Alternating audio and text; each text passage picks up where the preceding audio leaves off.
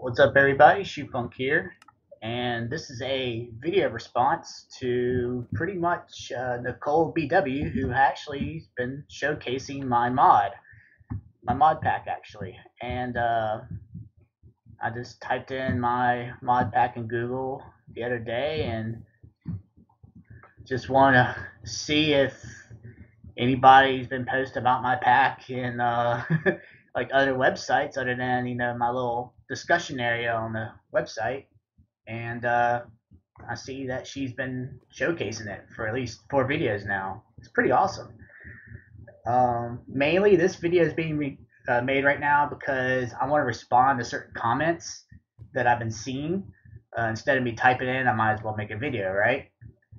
So I'm reading in um, episode one somebody says, um, how do you add mods to a mod pack? Because I tried this pack, but was but the water can for the tree growth is too slow. Okay, uh, I don't know about that. All I know is um, the watering can is not originally supposed to be spawned into your inventory at start.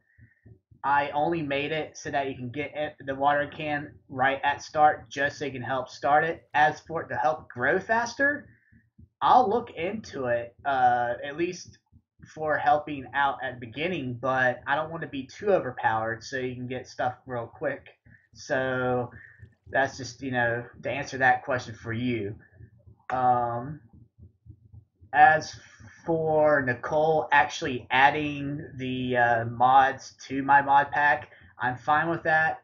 It's just um, Chisels was originally intended to be in the mod pack, and at the time, I wasn't into the mod pack to the point where I needed to worry about chisels. And then I was looking for a particular block that I was trying to put in my base, and I couldn't find it. I was like, oh wait, that's part of Chisels and it's not installed. Why is it not installed? So in 1.4a, the mod has been added. Um, let's see here. In video number two, uh, in response to the same thing, uh, Eddie Magpie was like, "Is a great call. You have wider choices of blocks." Yeah, that is correct. Because, like I said, I was trying to get certain looks that I wanted, and that's why it's been added. Let's see. Oh yeah, and then lastly, in uh, episode four, uh, some person named Tomoska mentioned autonomous activators. Now, autonomous activators is in this pack, and they do work. I'm about to make one myself because what I have been doing, and I'll show you what I've been doing, is I have peaceful mode turned on, and I got the peaceful table, and I got three of them. And they've been emptying out these chests right here, one by one, and I got a few in my inventory now for demonstration, but we'll take a few more out. And, uh, that one didn't have any what I was going to do is show you how to make it from scratch and get to work. Now I already went ahead and made the recipe within this crafting station right here. And the, the recipe is pretty much a vanilla-ish recipe. I didn't change things dramatically. And there's that. Now you will need power and at least a chest to put the stuff in. So we're going to use power that I currently have right now over here, which is uh, this furnace or furnace generator. And we can put it this right here. Put the chest right in front of it.